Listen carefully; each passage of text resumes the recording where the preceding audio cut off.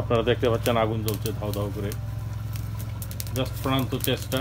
আমরা এখন হাঁড়িতে মাংস দিয়েছি। দেখেন মাংস।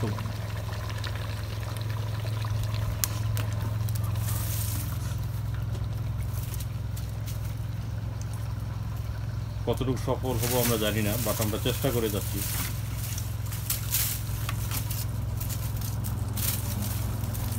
এখন মোটামুটি একটু ধোয়া কম, এখন মাংস দেখতে পাচ্ছেন পরিষ্কারভাবে। জি, চিকেন রান্না হচ্ছে। সম্পূর্ণ বাংলাদেশি স্টাইলে। তবে তার সাথে একটু বাটা মশলা হলে আরও ভালো হতো।